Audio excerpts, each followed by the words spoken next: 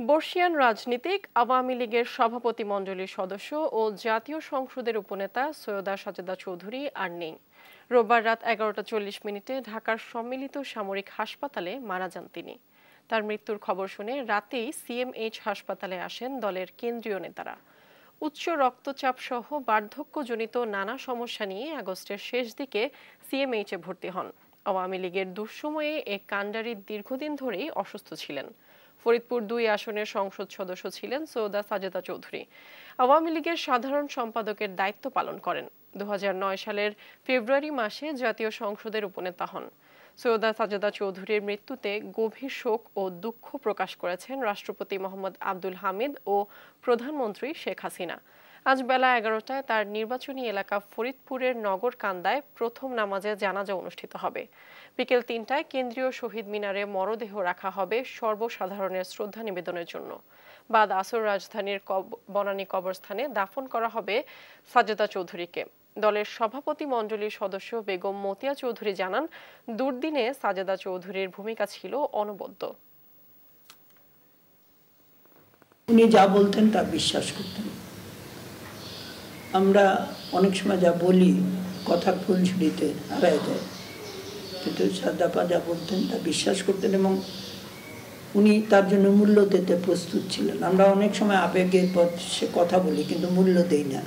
মূল্যের প্রশ্ন আসলে আমরা পিছিয়ে যাই। কিন্তু সাদাপা এই ব্যাপারে যারা মুখের উচ্চারণ এবং মূল্য দেওয়া এই ব্যাপারে যা দুইটা যাদের ভিতরে মিল দেখা দেয়, এক জায়গায় পৌঁছায় সাদাপা তাদেরই একজন রাজনীতিবিদ।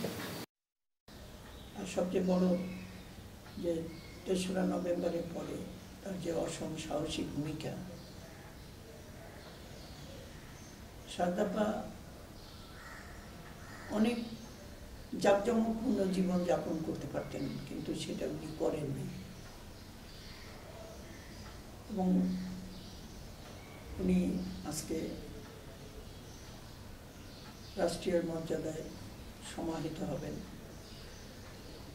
আমি মনে করি যে রাষ্ট্র একটা বীর মুক্তিযোদ্ধারে এবং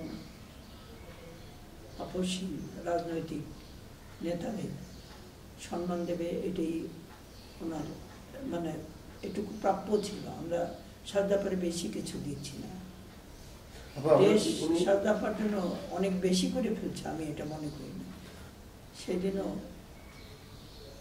নেত্রীর সঙ্গে গিয়ে দেখা করা ভারতে এবং তারা আসার জন্য তাদের